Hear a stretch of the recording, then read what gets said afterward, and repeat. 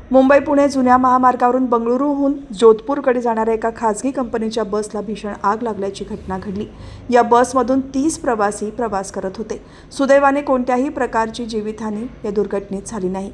मुंबई पुणे जुन्या महामार्गावरील वाघजाई मंदिराच्या खाली अमृतांजन पुलाजवळ बंगळूरहून जोधपूरकडे जाणाऱ्या जखार ट्रॅव्हल्स या खाजगी प्रवासी वाहतूक करणाऱ्या बसचे लायनर गरम होऊन टायरने पेट घेतला.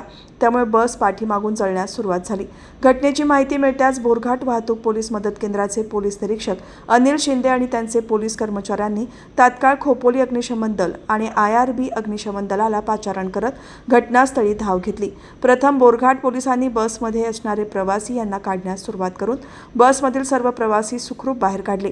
अग्निशमन दलाने आगीवर नियंत्रण मिळवले असले तरी नव्वद टक्के बस जळून खाक झाली. या बसमध्ये तीस प्रवासी पुण्याहून मुंबईकडे जात असताना ही घटना रविवारी सायंकाळी साडेसहा वाजण्याच्या सुमारास घडली. आगीमध्ये कुठल्याही प्रकारची जीवितहानी झाली नसली तरी प्रवाशांचे सामान आणि बस जळून खाक झाली.